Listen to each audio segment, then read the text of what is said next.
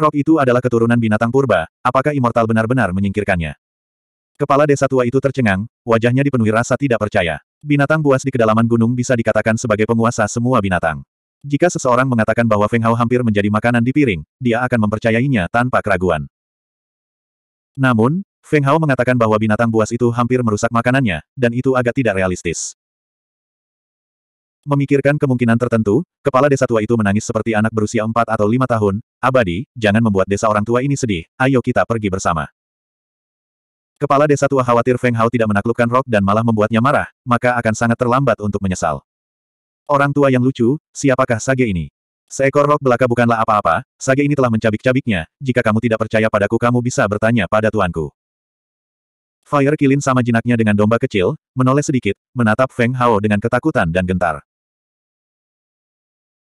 Feng Hao adalah seorang master yang sangat mudah diajak bicara, memberikan wajah yang cukup pada kilin api, menganggukkan kepalanya dan berkata, mulai hari ini dan seterusnya, tidak ada binatang buas di pegunungan yang berani meninggalkan pegunungan, bahkan jika formasinya rusak, itu akan terjadi. Tidak menjadi masalah. Wajah kepala desa tua itu masih penuh kecurigaan.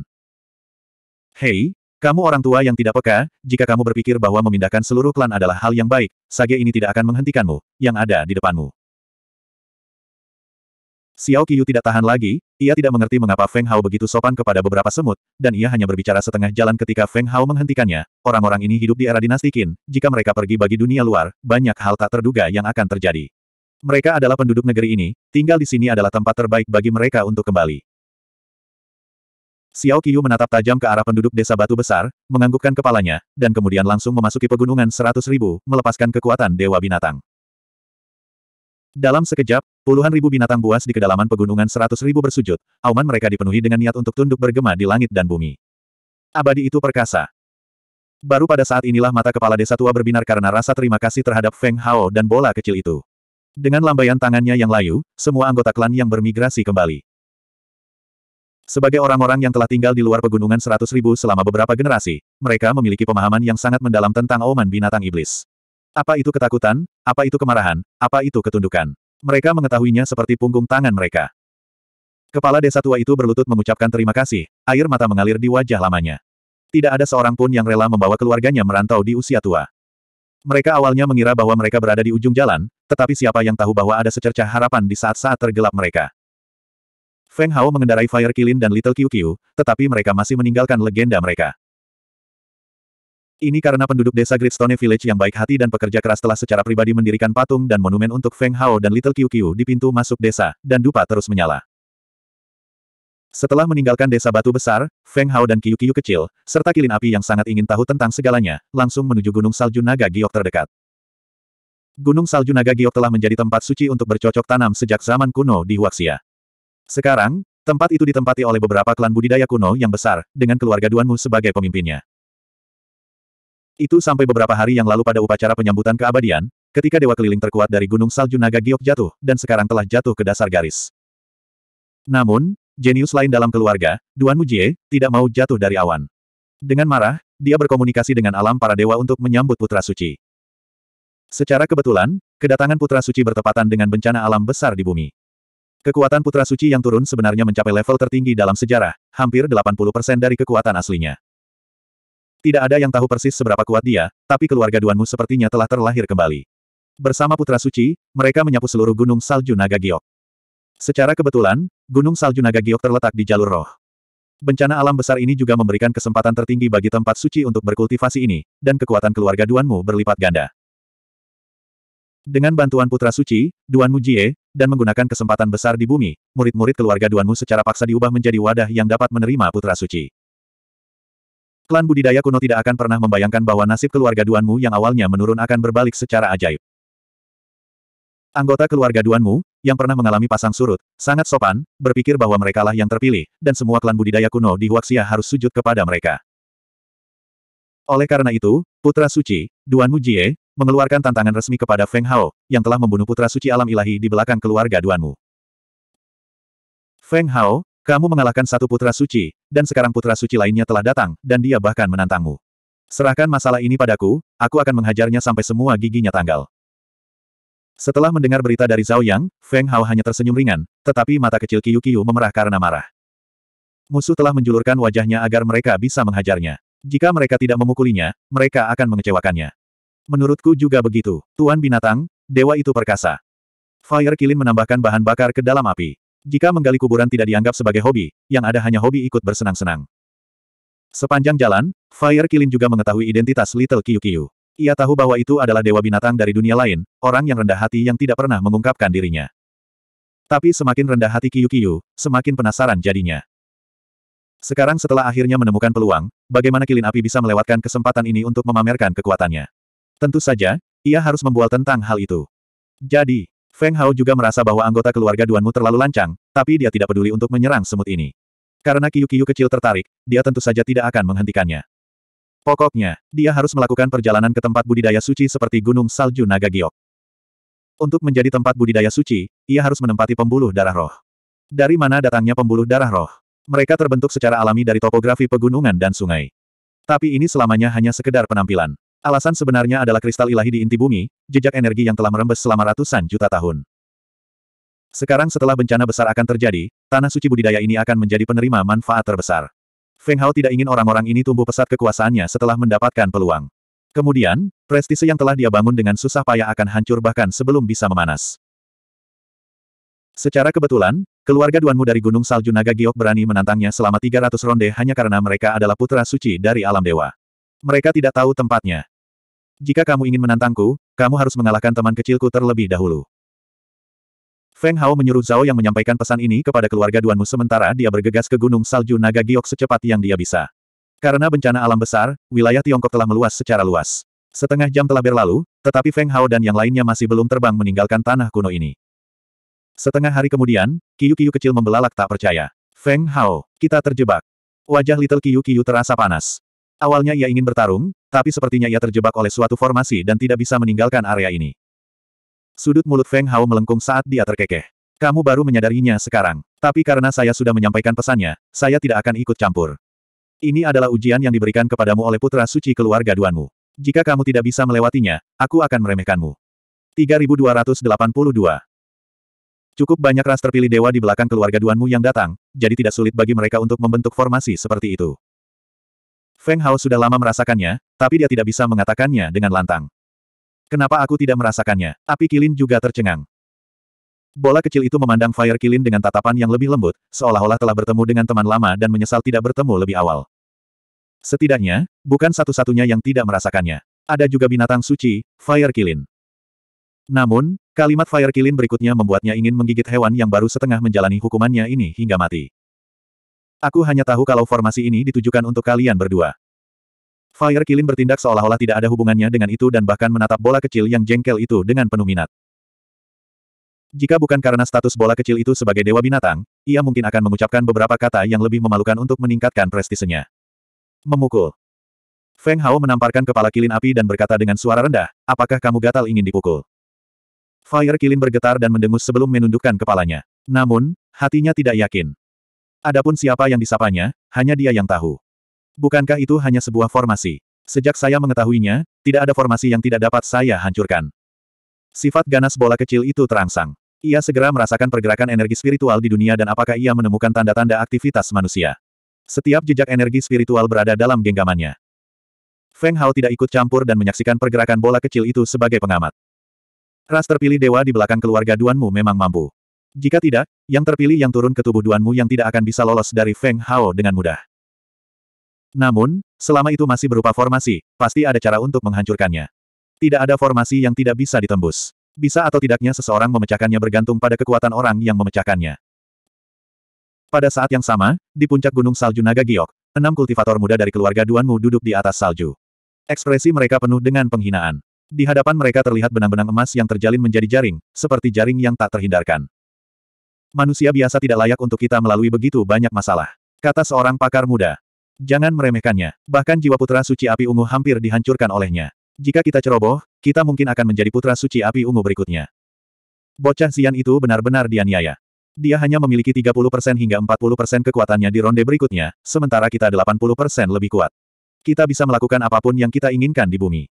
Haha, semua makhluk di bumi adalah semut. Di mata mereka, kita adalah makhluk berdimensi lebih tinggi yang dapat mengendalikan hidup dan mati sesuka hati.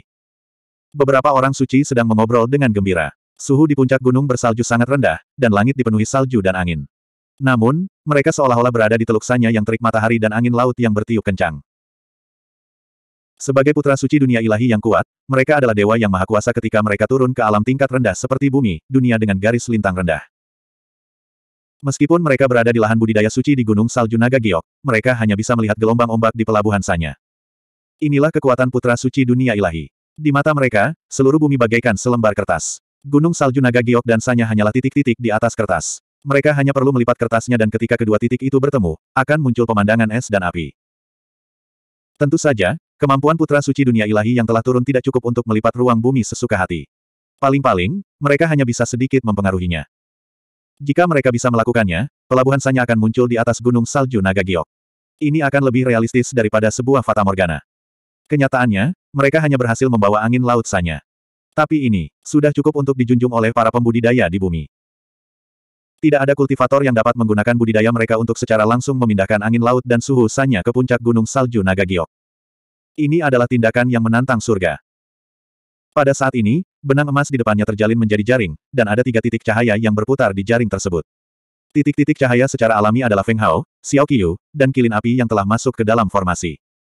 Ini benar-benar aneh. Ini adalah susunan yang belum pernah saya lihat sebelumnya. Sepertinya ini tidak mengubah energi spiritual dunia atau meletakkan dasar dari susunan tersebut.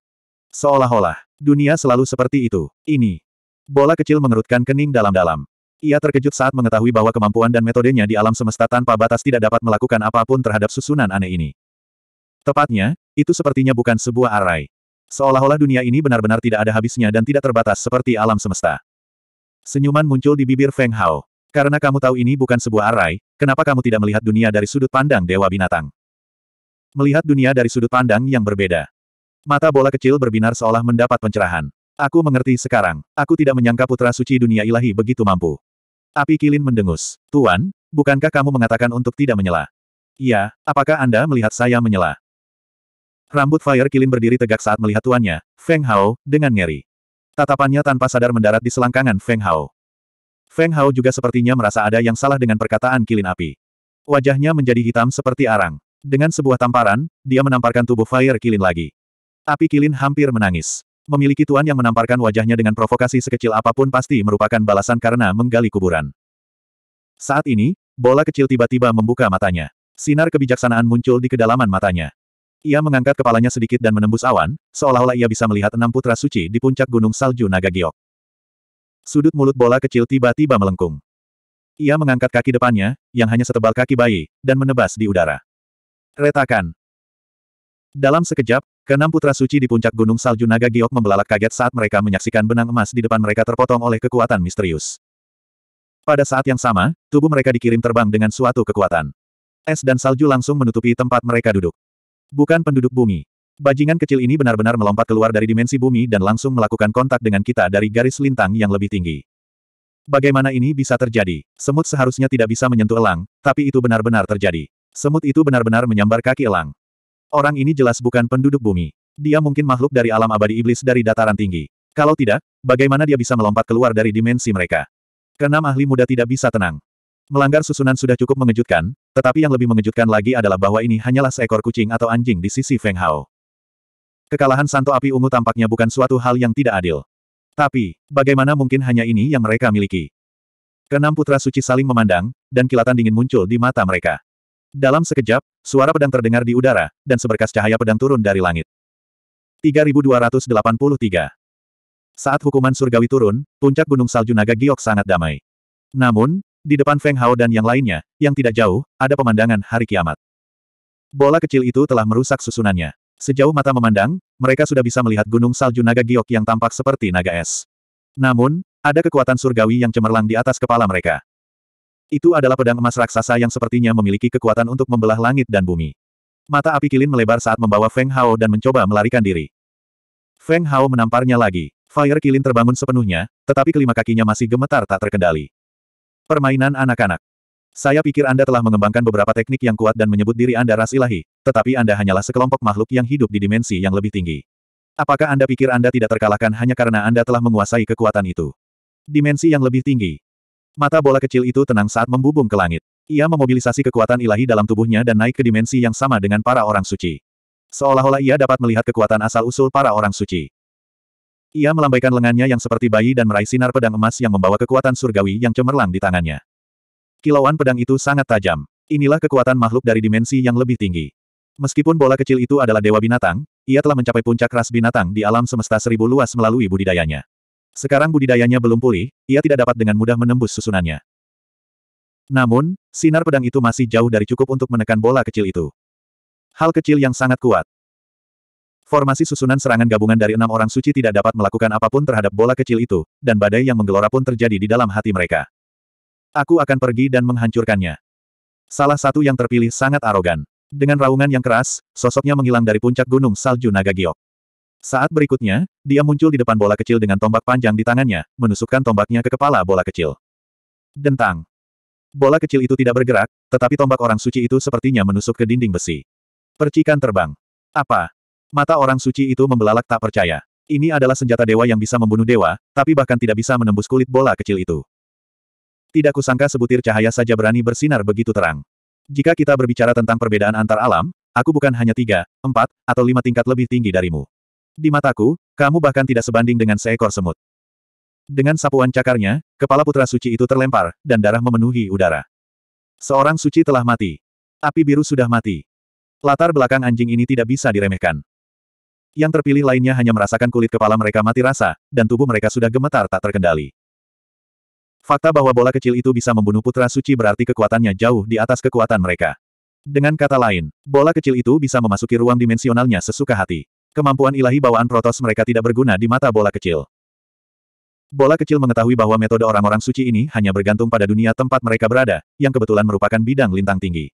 Itu sebabnya mereka memiliki kekuatan untuk membunuh makhluk hidup di bumi dan bisa turun kapan saja. Tapi trik ini, terlalu bagus untuk dimainkan dengan Feng Hao. Pesawat tempat tinggal penguasa dunia tanpa batas bahkan mungkin tidak sebanding dengan sepuluh alam dewa. Saat Feng Hao menyaksikan semua ini, sudut bibirnya sedikit melengkung. Meskipun budidayanya belum pulih sepenuhnya, dia masih memiliki visi penguasa dunia tanpa batas.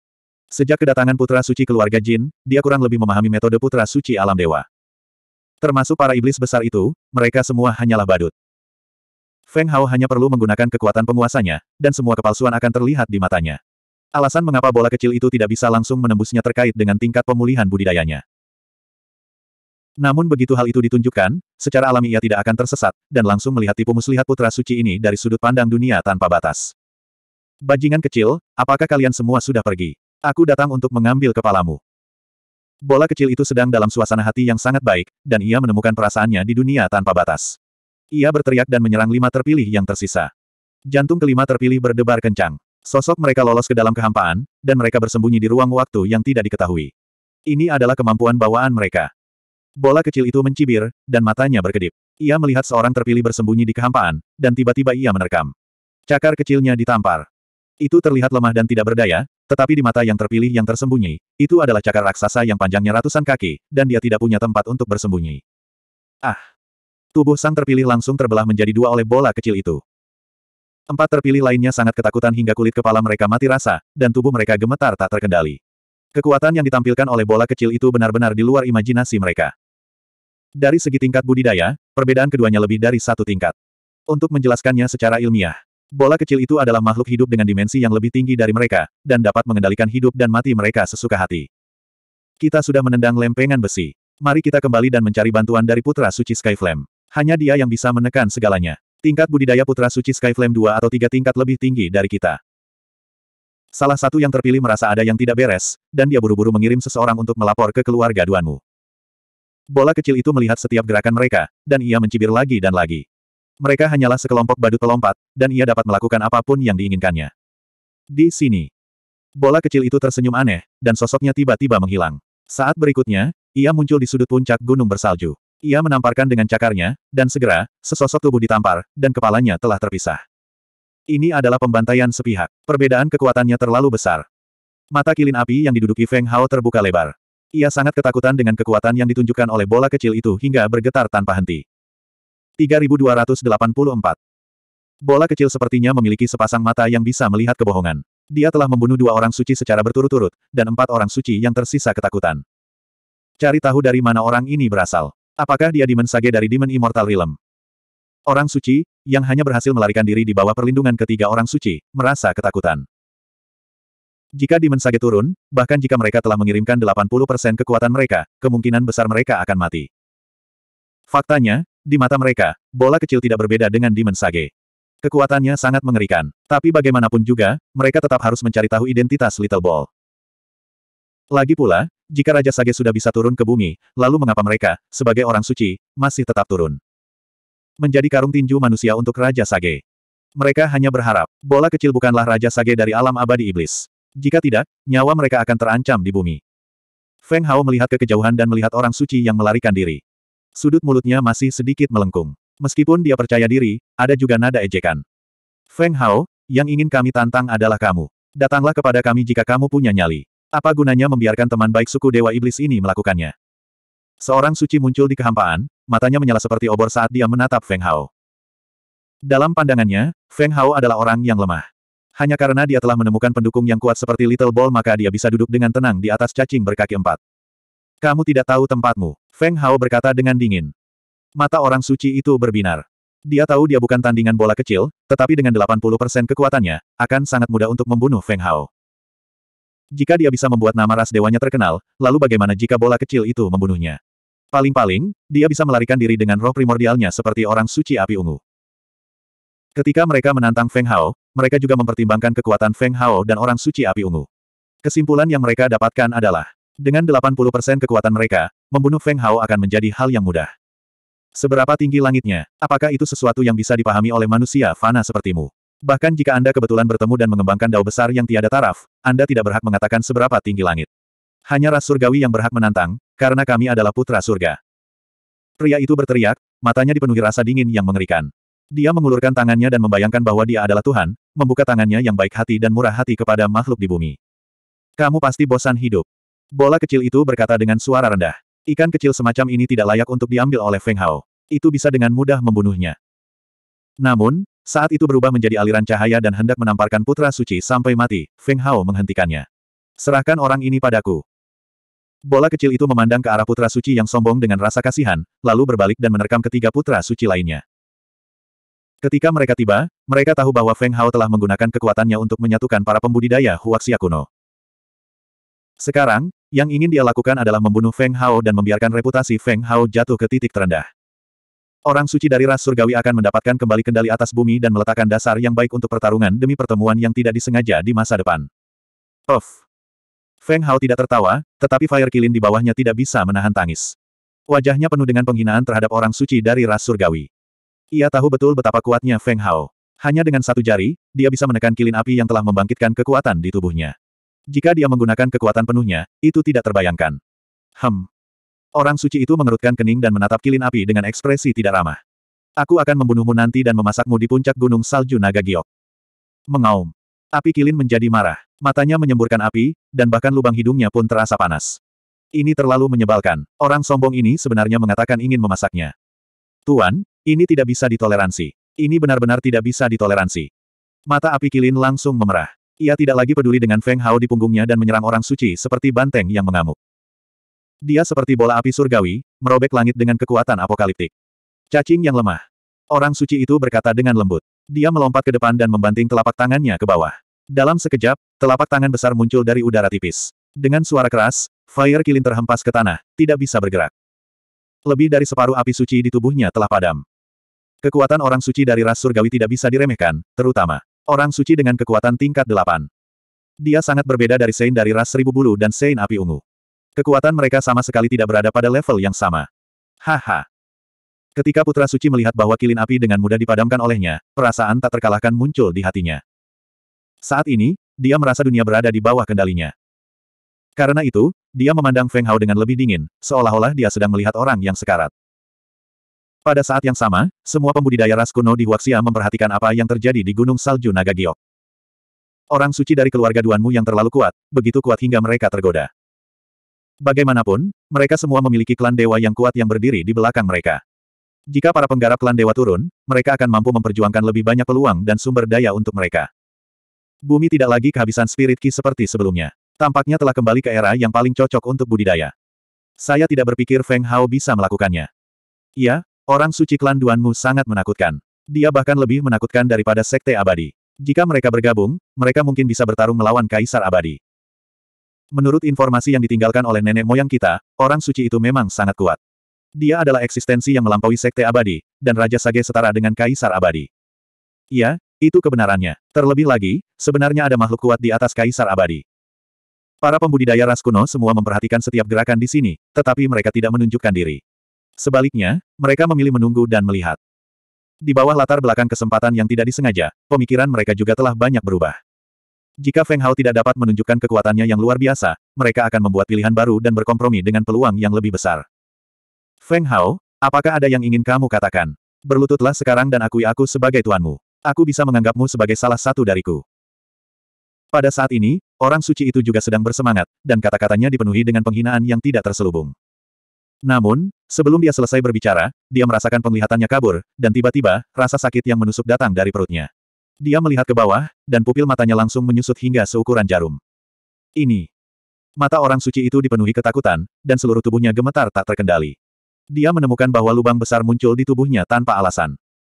Dan sekarang, dia tidak bisa melihat jejak Feng Hao. Jelas sekali bahwa orang yang menyebabkan kerusakan seperti itu padanya adalah Feng Hao. Untungnya, kekuatannya yang kuat memungkinkan dia untuk tidak kehilangan nyawanya selama organ vitalnya tidak terluka. Bahkan, tubuhnya mulai pulih sedikit demi sedikit. Namun, rasa malu yang diakibatkan oleh luka berat tersebut membuat orang suci ini merasa sangat marah pada saat yang bersamaan. Dia menatap ke langit dan meraung, mati, mati. 3285 Orang suci yang mendominasi dan tak terkalahkan ini menyebabkan para penggarap kuno yang memperhatikan perubahan di sini menjadi sedikit tergerak. Mereka dapat merasakan tekanan yang meningkat dari orang suci, dan mereka memiliki keinginan untuk berlutut dan menjilat sepatu botnya. Namun situasi ini tidak berlangsung lama. Orang suci yang berkuasa ini tiba-tiba tampak menderita epilepsi. Seluruh tubuhnya mengejang, dan kilat menyambar permukaan tubuhnya. Seolah-olah dia mengamuk, dan petir menyambarnya. Ah, apa yang terjadi? Orang suci ini bahkan tidak terlihat baik selama tiga detik sebelum rasa takut muncul di matanya. Dia mengangkat kepalanya dan menyadari bahwa Feng Hao tanpa sadar telah muncul di depannya. Feng Hao mengulurkan tangannya dan meraih sambaran petir. Petir itu dengan santai berubah menjadi berbagai bentuk di tangannya, bersorak gembira seolah-olah itu adalah harta karun kecil yang dipegang di telapak tangan orang tuanya. Mulut orang suci itu bergerak-gerak.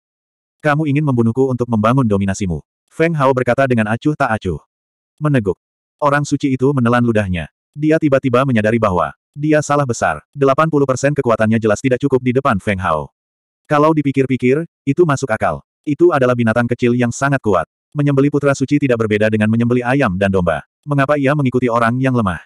Salah paham. Itu semua salah paham. Punggung orang suci itu sudah basah oleh keringat, dan rambutnya juga hangus karena petir. Dia memasang ekspresi menjilat di wajahnya. Itu semua atas dorongan keluarga duanmu. Aku sudah sangat menyadari kesalahanku. Aku akan pergi sekarang. Penampilan orang suci membuat semua kultivator kuno yang memperhatikan perubahan di sana tercengang, dan integritas moral mereka jatuh ke tanah. Orang suci ini sebelumnya luar biasa dan membual bahwa dia akan membunuh Feng Hao. Siapa yang tahu bahwa dalam waktu sesingkat itu, dia sendiri hampir terbunuh.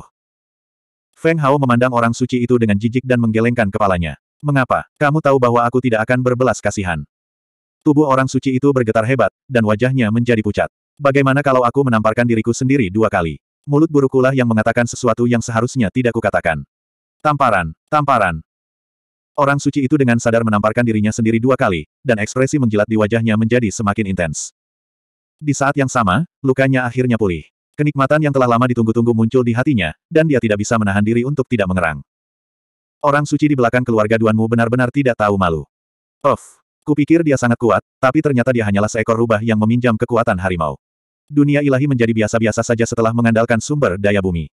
Itu benar, bahkan alam surgawi ikut campur dalam urusan bumi. Jelas sekali, mereka ada di sini untuk mendapatkan peluang besar. Jika kita memanfaatkan peluang ini, maka alam surgawi tidak lebih dari ini. Jika peluang yang tidak disengaja ada di tangan kita, dunia ilahi tidak akan berarti apa-apa.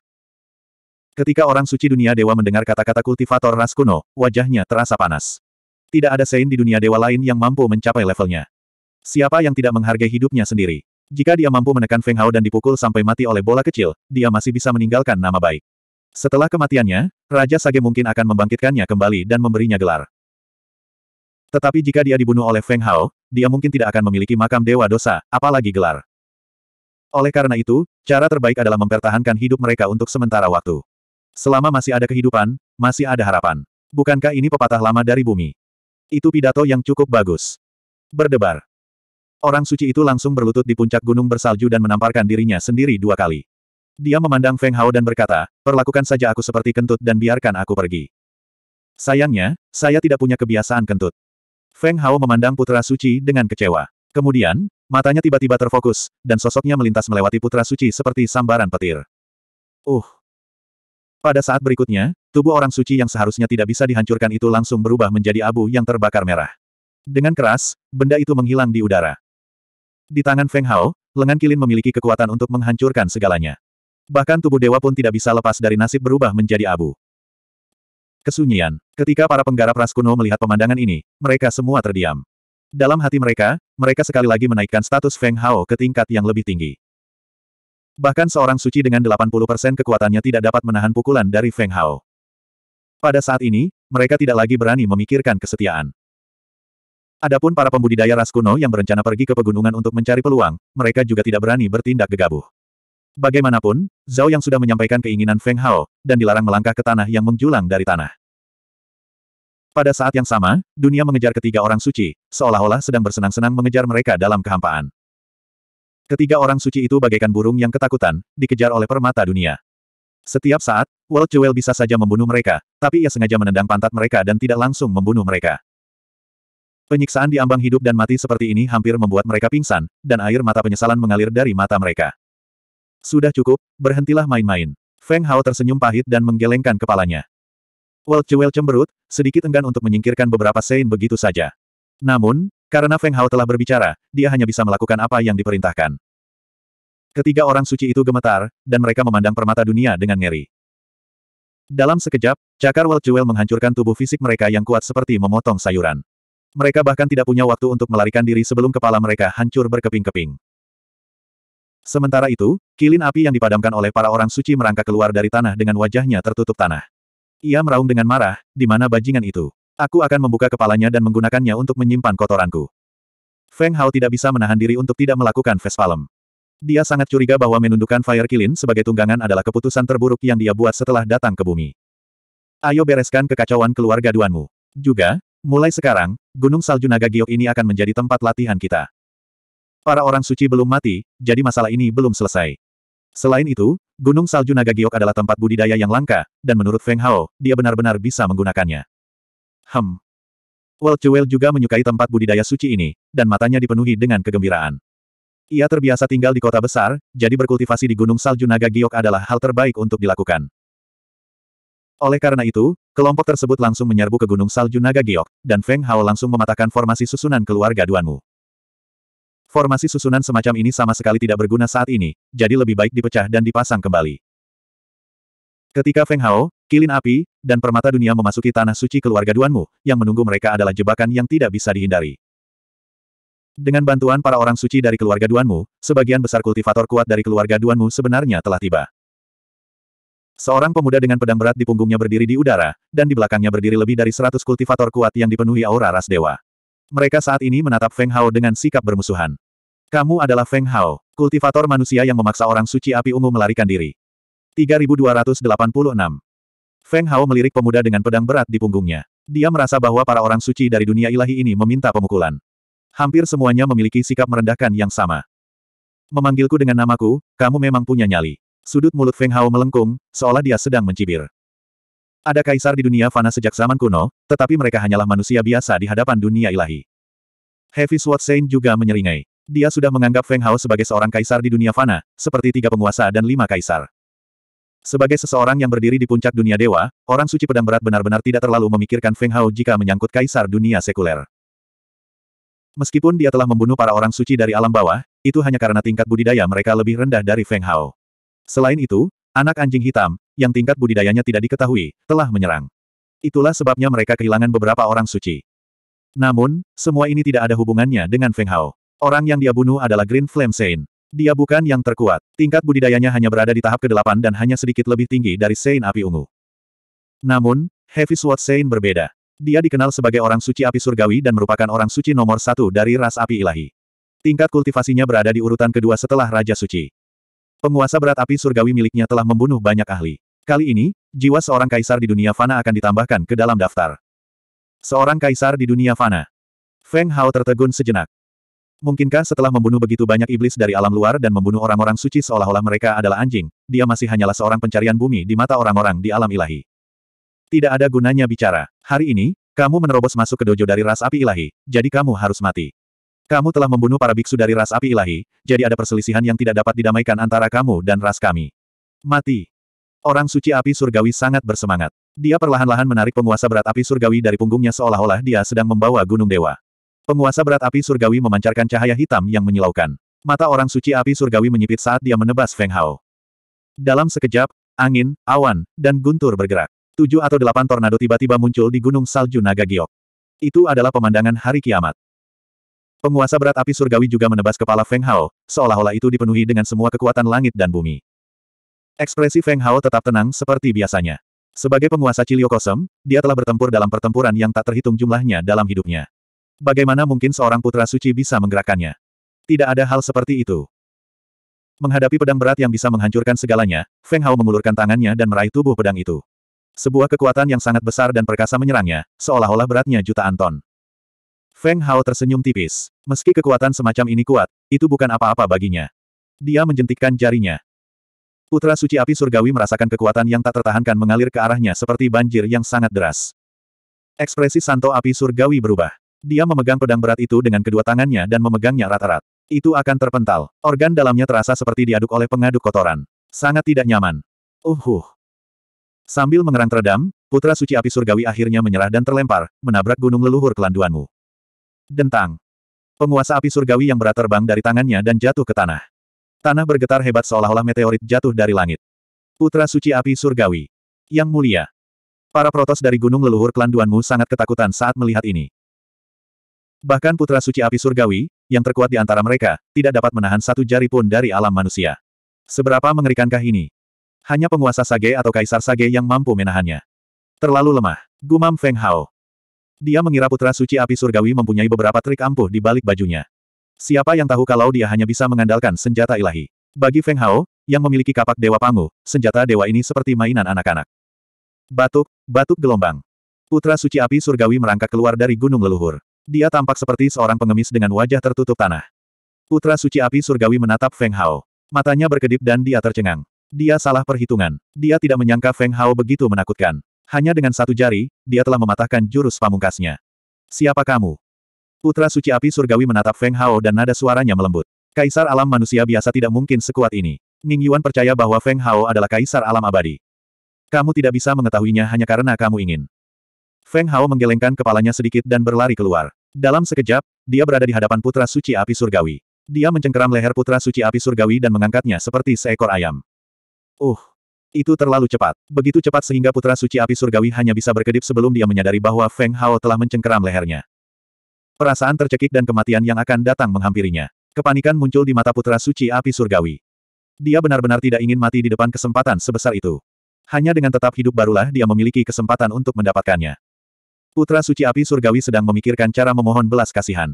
Namun, Feng Hao memiliki niat untuk menduduki Gunung Salju Naga Giok sebagai tempat latihannya. Bagaimana dia bisa menyelamatkan nyawa sisa-sisa alam ketuhanan ini? Dia mengerahkan sedikit tenaga dan meremukkan leher putra suci api surgawi, yang sekeras paduan logam. Mata putra suci api surgawi melebar dan kemudian pupil matanya membesar. Di saat kritis, jiwanya bahkan tidak sempat melarikan diri. Kesadaran Feng Hao menyerang dan menghancurkan jiwanya. Feng Hao dengan santai melemparkan tubuh putra suci api surgawi dan melayang ke tempat penguasa berat api surgawi berada. Dia menarik tangan kanannya dan lengan kilin bersinar merah. Dalam sekejap, lapisan karat di permukaan penguasa berat api surgawi, yang bersinar dengan cahaya hitam, telah hilang. Itu berubah menjadi pedang berat berwarna merah menyala. Setelah menimbangnya, Feng Hao merasa mudah untuk menggunakannya. Dikombinasikan dengan kemampuan bawaannya, lengan kilin, dia bisa mengeluarkan kekuatan yang lebih besar. Dia, dia mengambil senjata suci ras kita. Bagaimana manusia bisa membawa senjata ilahi? Ini adalah penguasa berat api surgawi. Pakar Divine Flame Rache gemetar. Dia memandang Feng Hao, yang memegang pedang berat itu sendirian, dengan ngeri. Dia merasa semuanya palsu. Mulai sekarang, tempat ini adalah tempatku. Apakah kamu keberatan? Feng Hao menikamkan pedang berat itu ke tanah dan menatap dingin para ahli Divine Flame Rache dari domain bawah. Jangan terlalu sombong. Ras kita. Seorang ahli dari Divine Flame Rache menonjol dan mencaci maki. Namun sebelum dia bisa menyelesaikan kata-katanya, cakar bola kecil muncul entah dari mana dan menghantamnya hingga menjadi abu dengan satu tamparan. Tidak, tidak ada keberatan. Para ahli Divine Flame Rache lainnya tidak berani menonjol dan berteriak setelah melihat ini. Mereka taat seperti kawanan domba. Feng Hao mengangguk puas dan tertawa kecil. Peluang tak terduga di bumi semakin besar. Saya sangat khawatir tidak bisa memanfaatkan semuanya. Wintir, aku, Yan Qi, bersedia mengikutimu. Aku tidak akan pernah mengkhianatimu. Berdebar. Seorang ahli dari Divine Flame Rache memutar matanya dan langsung berlutut di tanah. Dia berlutut di depan Feng Hao dan memilih untuk berjanji kesetiaannya. 3287 Orang bijak tunduk pada keadaan. Mulai sekarang, Anda adalah murid tertua di bidang dao ini dan memiliki prioritas untuk menikmati peluang yang tidak disengaja. Feng Hao memandang Yan Qi dan berkata. Yan Qi sangat gembira dan bersujud berulang kali. Terima kasih banyak, Kaisar Angin. Sebelumnya, dia adalah seorang ahli dari Divine Flame Rache yang tidak mencolok. Dia tidak tahu kapan peluang tak terduga di bumi akan datang padanya. Siapa yang mengira bahwa dia akan diberi prioritas setelah meninggalkan kegelapan demi terang? Yang rendahan ini, Yan Lang, juga bersedia melayani Tuan Kaisar Angin. Orang rendahan ini juga bersedia. Tolong bawa kami masuk, Tuhan. Setelah belajar dari kesalahan Yan Qi, para ahli dari Divine Flame Rache kembali sadar. Sekaranglah waktunya bagi mereka untuk menentukan pilihan. Hidup atau mati, itu terserah mereka. Jelas sekali bahwa mereka semua adalah orang pintar dan memilih untuk melayani Feng Hao. Fire Kilin mengangkat kepalanya dan berjalan perlahan melewati para ahli dari Divine Flame Rache. Dikatakan, yang kudus ini akan menjadi tuanmu yang kedua. Feng Hao mengusir Fire Kilin dan berkata dengan sungguh-sungguh, jagalah ladang dao ini dengan baik dan jadilah pelindungmu. Api Kilin mengguncang tubuhnya dan menatap Feng Hao dengan ekspresi tersanjung. Pelindung itu adalah Putra suci dari ras api ilahi memasang senyuman palsu, tetapi matanya menjadi lebih hormat ketika dia melihat ke arah Feng Hao. Gunung Salju Naga Giok, tempat suci untuk budidaya, sekarang berada di bawah nama Feng Hao setelah dia menunjukkan kekuatannya yang besar. Para murid keluarga Duanmu yang belum dirasuki oleh para ahli alam dewa ingin menggunakan nama Raja Suci Ras Api Ilahi untuk mengancam para ahli alam dewa yang setia kepada Feng Hao untuk kembali. Siapa yang tahu, para ahli ras api ilahi ini lebih kejam dari siapa pun dan membunuh banyak murid keluarga Duanmu bahkan tanpa menoleh ke belakang. Untungnya, ini menjadi peringatan bagi yang lain. Para murid keluarga Duanmu tidak berani bertindak gegabah lagi dan dengan patuh pergi mengelola gunung salju naga giok. Apakah mereka yang mengkhianati klannya akan masuk neraka? Gunung salju naga giok sangat indah di malam hari. Langit dipenuhi bintang-bintang. Yan Qi, seorang ahli berjubah hitam dari Divine Flame Rache, sedang beristirahat dengan mata tertutup. Berdiri di depannya adalah seorang pemuda yang marah. Matanya dipenuhi amarah, dan dia hampir mengutuk semua wanita di keluarga Yan Seven. Kita adalah dewa. Bahkan jika kita masuk neraka, kita hanya akan menjadi dewa yang jatuh. Dan juga, Kaisar Angin, tidak lebih lemah dari Raja Suci, kata Yan Qi dengan lembut. Bagaimana kamu tahu kalau dia tidak lebih lemah dari Raja Suci? Pemuda itu mengerutkan kening. Saat itulah Yan Seven membuka matanya. Sinar cahaya menyinari mereka saat dia berkata, Putra Suci Api Ungu yang melarikan diri kembali ke alam api ilahi adalah sepupuku yang lebih tua. Ketika dia dihukum oleh Raja Suci, dia mengatakan yang sebenarnya kepadaku. Kaisar angin telah kapak yang dapat membelah langit dan bumi. Tidak ada orang suci yang dapat menghentikannya. Apa? Pemuda itu menghirup udara dingin, ekspresi tidak percaya di wajahnya. Kapak yang tak terbendung yang bisa membelah langit dan bumi, keberadaan macam apa itu? Karena Feng Hao mampu menggunakan kapak seperti itu, seberapa kuat budidaya aslinya? Apakah dia benar-benar tidak lebih lemah dari Saint King? Bahkan seseorang sekuat putra suci api surgawi dibunuh oleh Feng Hao, dan Feng Hao mengambil penguasa berat api surgawi. Tampaknya kekuatannya terbukti dengan sendirinya. Namun, sebagai anggota Divine Flame Rache, dia setia kepada orang lain. Untuk orang seperti dia yang menerima nilai-nilai Divine Flame Rache, ini tidak bisa diterima. Perlombaan api ilahi, bukanlah garis keturunan yang telah diwariskan sejak zaman kuno. Kami, hanyalah ras asing yang dibawa kembali oleh Raja Suci dari seluruh alam semesta dan diangkat ke dalam ras mereka. Tidak ada salahnya setia kepada Kaisar Angin. Orang bijak tunduk pada keadaan. Setelah Yan Seven mengatakan ini, dia menutup matanya dengan lembut. Dia telah menerima buah dari Feng Hao. Meskipun itu adalah buah yang dipetik dari Gunung Salju Naga Giok, fakta bahwa Yan Seven bersedia memberikannya kepadanya adalah tanda kepercayaan. Aku akan melaporkan hal ini kepada Raja Suci. Jalan kita berbeda, dan kita tidak bisa bekerja sama. Selamat tinggal. Kilatan dingin melintas di mata pemuda itu. Dia berbalik dan hendak pergi, tapi Yan Seven tiba-tiba bergerak. Jubah hitamnya berkibar tertiup angin, dan nyala api suci kemasan muncul di tangannya yang hitam pekat. Dia menusuk dada pemuda itu. Ketika dia menarik tangannya kembali, jantung yang berdebar kencang dan berdarah ada di telapak tangannya. Yan tujuh, apa, apa yang kamu lakukan? Wajah pemuda itu pucat dan tubuhnya lemah. Dia berlutut di tanah, dan matanya dipenuhi amarah dan kebencian. Siapa pun yang merusak rencana Kaisar Angin adalah musuhku. Puff. Yanki mengerahkan sedikit kekuatan di telapak tangannya, dan jantungnya langsung meledak menjadi abu merah menyala yang tersebar di udara. Bahkan pemuda yang memiliki ekspresi enggan di wajahnya pun menghilang dari dunia. Jiwanya hancur, dan tubuh serta jiwanya hancur. Kerja bagus, nak, lumayan. Tiba-tiba, sebuah suara terdengar dari belakang Yan Seven. Dia berbalik dan melihat bahwa itu adalah tunggangan Kaisar Angin, Kilin Api. Putra suci api surgawi bisa memandang rendah kilin api, tetapi Yan Seven tidak bisa. Dia bahkan bukan tandingan ketujuh putra suci pelangi, jadi dia tidak punya hak untuk bertarung melawan binatang suci yang memuntahkan api suci ini. Kilin api adalah binatang suci keberuntungan yang lahir dari langit dan bumi. Ada catatan tentangnya di Divine Flame Rache, dan itu adalah binatang suci yang disembah oleh manusia. Tuan penegak. Yan Seven melepas topi hitamnya dan membungkuk dengan tangan ditangkupkan. Kilin api menyeringai dan berkata, kamu melakukannya dengan baik sekarang. Siapa pun yang merusak rencana Kaisar Angin adalah musuh dan harus mati. Apakah kamu mengerti? Yan Tujuh mengerti. Yan Tujuh mengangguk dengan berat. Sangat bagus. Kilin api memandang Yan Seven dengan penuh penghargaan dan berkata, saya percaya bahwa Anda adalah naga di antara manusia, dan jauh lebih kuat daripada putra suci omong kosong itu. Terima kasih, Tuan Penegak Hukum, atas kebaikan Anda. Yan Seven akan melakukan yang terbaik untuk Kaisar Angin dan Tuan Penegak Hukum, kata Yan Seven dengan serius. Api Kilin tersenyum lebih bahagia. Kemudian, dia menyadari bahwa melakukan hal-hal yang tidak bermoral bukanlah sesuatu yang membahagiakan, jadi dia menarik senyumnya dan berkata dengan serius, kamu terlalu serius. Kamu adalah seseorang yang sangat dijunjung tinggi oleh Kaisar Angin, dan masa depanmu sangat cerah. Tidak akan menjadi masalah bagimu untuk menjadi penegak hukum berikutnya. Tolong tunjukkan padaku jalan yang benar, Tuan Penegak. Mata Yan Seven berbinar, dan tubuhnya gemetar karena kegembiraan. Jika dia bisa menjadi penegak Kaisar Angin, bukankah dia akan menjadi master tak terkalahkan yang berdiri di atas semua orang ketika Kaisar Angin memerintah dunia di masa depan? Batuk gelombang. Kilin api terbatuk dua kali dan berkata, bakat pelindung ini luar biasa. Sejak saya masih muda, saya memiliki metode yang menantang surga dan memiliki kemampuan bawaan untuk mendeteksi harta rahasia. Sekarang, selama Anda membantu pelindung ini, saya akan memberi kamu tujuh atau delapan buah mutan di masa depan. Bahkan memberimu senjata ilahi bukanlah masalah. Mendesis. Setelah mendengar kata-kata kilin api, tubuh Yan Seven bergetar semakin hebat.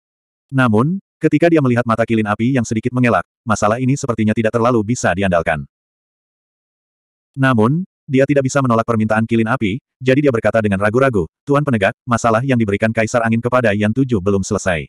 Jika itu masalah kecil, tentu saja itu bukan masalah. Tapi jika itu sesuatu di luar jangkauan kita, aku khawatir Yan Seven akan.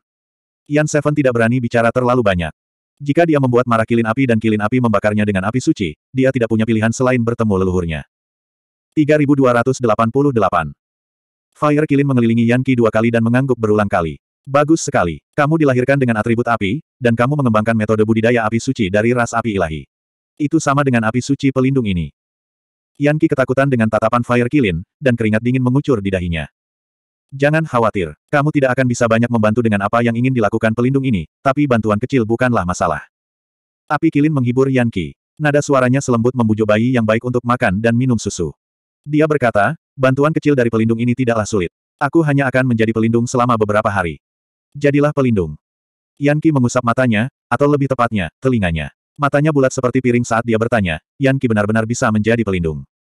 Itu benar. Pelindung ini mengamati bintang-bintang di malam hari dan menemukan bahwa monster lahir di barat laut. Pelindung ini tidak tahan melihat rakyat jelata mati, dan Kaisar Angin perlu bepergian, jadi pelindung ini hanya bisa membiarkanmu berpura-pura menjadi orang bijak sementara pelindung ini pergi ke barat laut untuk membunuh monster itu. Apakah kamu mengerti? Kilin api menatap Yanki dan menggunakan ancaman dan janji. Sepertinya dia akan membunuh Yanki jika dia tidak setuju. Berpura-pura, berpura-pura menjadi tuan pelindung. Tapi Yanki tidak tahu dao transformasi. Yanki sangat ketakutan hingga keringat dingin mengucur di punggungnya. Dia berpura-pura menjadi pelindung dan menjadi tunggangan Kaisar Angin. Jika dia terekspos, dia pasti akan mati. Lebih penting lagi, dia sama sekali tidak mengetahui dao transformasi. Saat dia selesai berbicara, kilin api sepertinya bersiap untuk ini. Dia menamparkan cakarnya tepat di kepala Yanki dan mulai mengucapkan suku kata yang tidak jelas. Perlahan-lahan, tubuh Yanki mulai memancarkan api suci, dan lapisan sisik keras menutupi kulitnya. Tubuh Fire Kilin perlahan berubah menjadi manusia, dan fitur wajahnya sangat mirip dengan Yanki. Kaisar Angin tidak akan bisa melihat perpindahan bayangan pelindung ini kecuali penguasa dunia ada di sini. Orang bijak ini akan kembali dalam tujuh hari dan memberimu kekayaan besar. Segera, Fire Kilin menyelesaikan Shadow Displacement, dan dia berubah menjadi Yanki yang tampan dan anggun dengan senyuman yang sedikit jahat di wajahnya. Sementara itu, Yanki telah berubah menjadi kilin api yang diselimuti api. Namun, temperamennya tidak sombong seperti Fire Kilin. Sebaliknya, dia tampak seperti kelinci kecil yang ketakutan. Jangan takut. Yan Qi, yang merupakan kilin api, dengan lembut membelai kilin api yang ketakutan dan berkata dengan lembut, keberuntunganmu sekarang ada di tanganmu. Jika kamu terbongkar dan menimbulkan konsekuensi yang mengerikan, aku tidak akan dapat membantumu. Yan Seven bergidik, tapi dia buru-buru mengangguk dan berkata, iya. Anak baik, pelindung ini tidak pernah salah dalam menilai orang. Dasar bocah nakal, kamu telah meraih takdir yang besar, mengerti. Dipahami. Yan Qi tidak tahu apakah dia mengerti atau tidak, tapi karena kilin api sudah melakukan ini, tidak ada cara dia bisa menolak selain mengangguk setuju. Yan Qi, sang kilin api, berulang kali memperingatkan Yan Qi untuk tidak mengekspos dirinya sendiri. Kemudian, ia menaiki awan ke barat untuk mencari rejeki besar yang telah lama diidam-idamkannya. Pada saat ini, Feng Hao dan bola kecil sedang berkultivasi di dojo Gunung Salju Naga Giok. Mereka menghirup energi yang dilepaskan oleh kristal ilahi inti bumi, dan basis budidaya mereka perlahan pulih. Tiba-tiba, Xiao Qiu membuka matanya dan melihat ke arah barat laut. Sudut mulutnya sedikit melengkung. Sudah kuduga, orang ini bukanlah orang yang tinggal diam. Makam leluhur siapa yang diincarnya. Bola kecil tertawa pelan. Feng Hao juga membuka matanya saat ini dan berkata, sepertinya itu setelah makam Qin Shi Huang. Bukankah ia hidup di era ketika Qin Shi Huang memerintah Qin Shi Huang? Dengan perubahan yang terjadi di tanah Tiongkok, seharusnya Qin Shi Huang masih hidup. Karena dia masih hidup, mengapa kilin api ini menggali kuburan leluhur? Bola kecil merasa kepalanya akan meledak. Kepalanya hampir pusing. Feng Hao tertawa pelan dan berkata, api kilin ini lahir di bumi. Keberuntungan yang bisa menggodanya pasti tidak sederhana. Mata bola kecil berbinar dan berkata, kalau begitu, haruskah kita juga? Little Ball jelas memiliki minat khusus pada perburuan harta karun. Pada saat ini, keadaan menjadi lebih gelisah. Setiap gerakannya berada di bawah kendaliku. Tidak perlu memperhatikannya untuk saat ini. Feng Hao menghilangkan keinginan Little Ball untuk bergerak. Fire Kilin baru saja pergi dan mereka sudah mengejarnya. Dengan sifat nakal Kilin api, akan aneh jika mereka berinisiatif untuk memberitahu mereka. Saat ini, tempat budidaya suci Gunung Salju Naga Giok telah menjadi dojo budidaya Feng Hao di bumi. Banyak formasi juga telah diatur dan diperbaiki olehnya, dan sekali lagi formasi tersebut bersinar dengan kekuatan formasi yang lebih kuat. Pertahanannya puluhan kali lebih kuat dari sebelumnya, dan kecepatan pengumpulan ki spiritual langit dan bumi lebih cepat dari sebelumnya. Setiap orang telah menerima manfaat besar. Sama seperti itu, barisan depan ras api ilahi dibeli oleh Feng Hao, dan Feng Hao bahkan lebih loyal kepadanya. Adapun klan kuno yang awalnya tinggal di Gunung Salju Naga Salju bersama keluarga Duanmu, setelah diusir oleh orang suci alam ilahi, mereka semua bergegas kembali untuk meminta perlindungan ketika mereka mengetahui bahwa Feng Hao telah menjadi penguasa salju.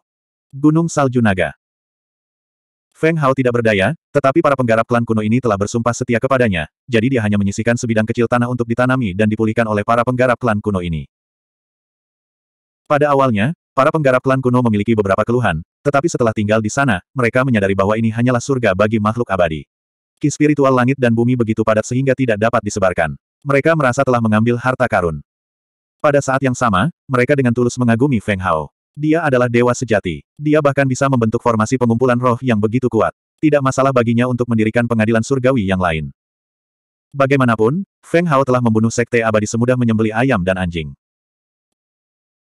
Demikian pula, ketika Feng Hao menduduki Gunung Salju Naga Giok sebagai tempat budidaya, tempat suci budidaya lainnya di Huaxia secara berturut-turut ditempati oleh klan kuno yang kuat.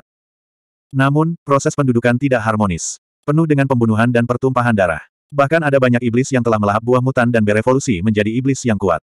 Mereka pun ikut berperang. Dengan bencana alam yang terjadi saat ini, lahan suci budidaya dipenuhi dengan peluang yang tak terukur. Siapa pun dapat menggunakan kesempatan ini untuk terbang ke angkasa, jadi tentu saja, persaingannya sangat ketat. Pada saat yang sama, pemerintah Huaxia juga tidak ketinggalan. Mereka memimpin pengiriman grup naga dan organisasi mutan, serta kelompok keuangan Super Huaxia, untuk memasuki wilayah yang belum pernah diinjak oleh peradaban modern untuk mencari peluang yang menjadi milik mereka. Di pegunungan dan hutan yang dalam, bahaya dan peluang hidup berdampingan. Buah mutan kecil melambangkan kelahiran seorang ahli top. Di kota-kota beradab modern, meskipun ada binatang iblis kuno yang berjalan keluar dari pegunungan yang dalam, mereka semua dibunuh oleh upaya bersama dari militer dan pembudidaya. Mayat mereka diseret ke lembaga penelitian bawah tanah. Pada titik ini, seluruh Huaxia bisa dikatakan telah memasuki era baru perkembangan pesat. Ahli biologi menggunakan gen setan-setan besar ini untuk mengembangkan obat-obatan genetik biologis yang kuat. Eksperimen menunjukkan bahwa jika obat genetik biologis ini digunakan pada pasukan khusus, masing-masing obat tersebut akan sebanding dengan Captain America di film. Satu-satunya kelemahan adalah obat genetik yang bisa diproduksi masih terlalu sedikit. Untuk dapat melawan para penggarap atau iblis dari alam lain, obat genetik yang dihasilkan oleh beberapa iblis besar saja tidak cukup. 3289 Jika pemerintah Tiongkok menginginkan bantuan Feng Hao, mustahil bagi Feng Hao untuk membantu setelah panggilan telepon dan beberapa kata salam. Dengan kekuasaan pemerintah Tiongkok, seberapa sulitkah menyelidiki informasi Feng Hao? Sejak Feng Hao terkenal, pemerintah telah menyelidiki identitasnya. Dia adalah alien yang bonafit. Namun, pemerintah selalu menutup mata terhadap hal tersebut. Apa motif mereka? Itu tidak lebih dari menunggu dan melihat.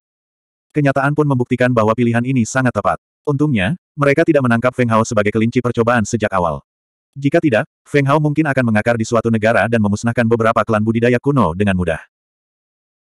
Kali ini, demi perdamaian dan persahabatan, pemerintah Tiongkok tetap memilih Zhao Yang untuk pergi ke Gunung Salju Naga Giok untuk bertemu dengan Master Sekte Feng Hao. Feng Hao sekarang memiliki Gunung Salju Naga Giok, tempat budidaya suci. Dengan mantan murid klan budidaya kuno mempertahankan pengoperasian normal tempat latihan, itu bisa dikatakan sebagai salah satu tempat pelatihan paling populer di Tiongkok. Selain itu, Gunung Hua, Gunung Tai, Kunlun, dan tempat suci terkenal lainnya kini ditempati oleh klan budidaya kuno yang kuat atau iblis besar. Setan-setan besar yang dapat menempati tempat budidaya suci secara alami memperoleh lima roh elemen dari pohon setan Dao ekstrim dan sejajar dengan pembudidaya manusia yang kuat. Sebagai penguasa Gunung Salju Naga Giok, Feng Hao menyerahkan semua urusan dan fokus berkultivasi dengan bola kecil di puncak gunung salju. Dia memahami hukum bumi dan mencoba yang terbaik untuk memulihkan budidayanya. Kaisar Angin, orang sekuler telah datang ke Tanah Suci. Dia bilang dia adalah teman lamamu dan ingin menemuimu. Sesosok diam-diam muncul di gunung salju. Itu adalah salah satu ahli api ilahi yang setia kepada Feng Hao. Ekspresinya sangat penuh hormat dan auranya jauh lebih kuat dari sebelumnya. Jelas sekali bahwa dia telah menerima banyak manfaat setelah berjanji setia kepada Feng Hao. Feng Hao menyebarkan telekinesis ilahi dan, melihat, Zhao yang di kaki gunung salju. Bibirnya sedikit melengkung. Bawa dia ke Blue Moon Valley.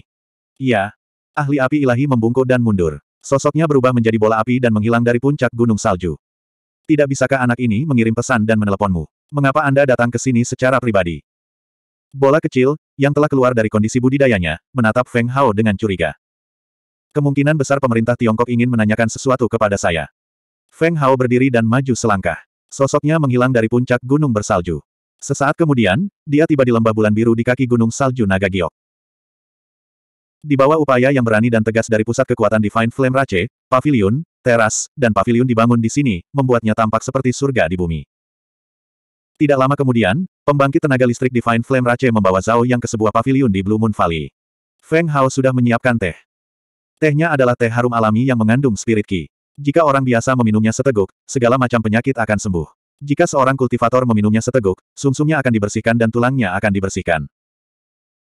Ketika Zhao yang melihat Feng Hao lagi, dia menemukan bahwa hanya dalam beberapa hari, Feng Hao tampak menjadi orang yang sama sekali berbeda. Dia sedikit seperti ahli dunia lain. Duduk.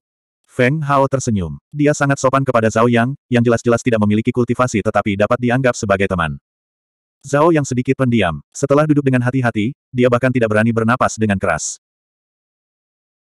Sejak dia mengetahui bahwa Feng Hao telah dengan paksa memusnahkan keluarga Duanmu, mencabut putra suci ras ilahi di belakang keluarga Duanmu, menduduki Gunung Salju Naga Giok sebagai tempat latihan, dan menyebut dirinya Kaisar Angin, dia tahu bahwa itu akan terjadi.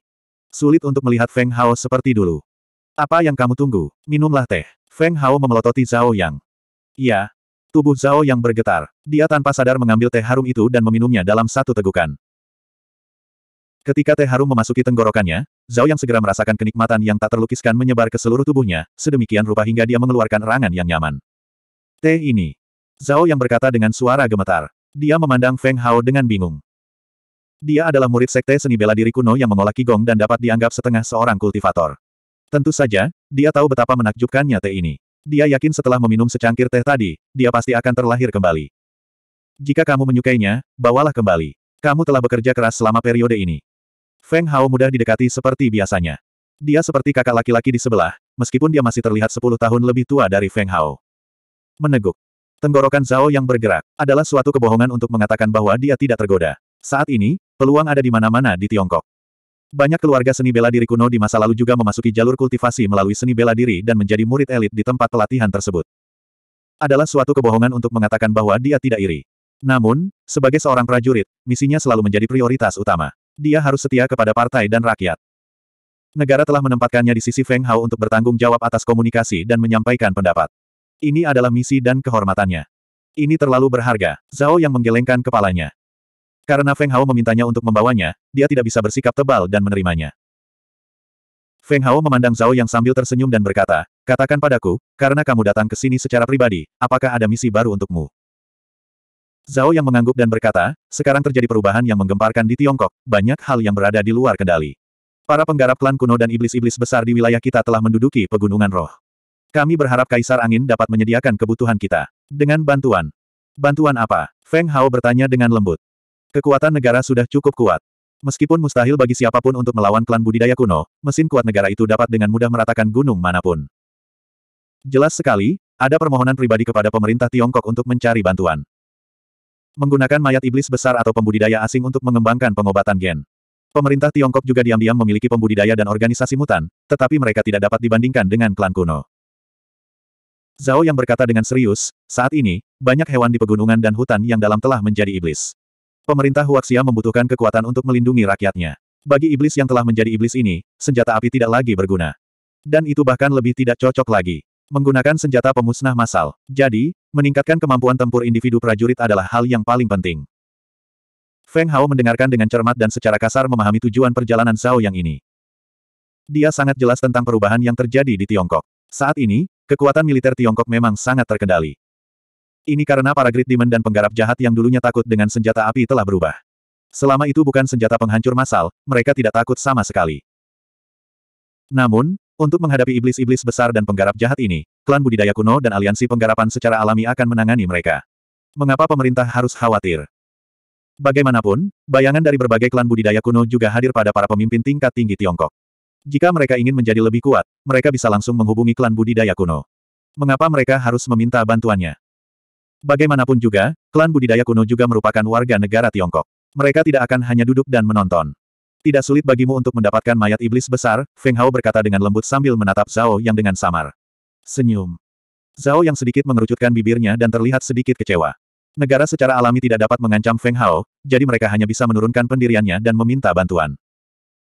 Bagaimanapun, kekuatan Feng Hao berada di atas dunia, dan tidak salah jika memanggilnya Dewa Bumi.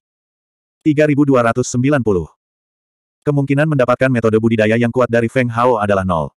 Namun, komunikasi adalah sebuah keterampilan. Tidak mungkin mendapatkan metode kultivasi yang kuat, tetapi meminta bantuan Feng Hao bukanlah masalah.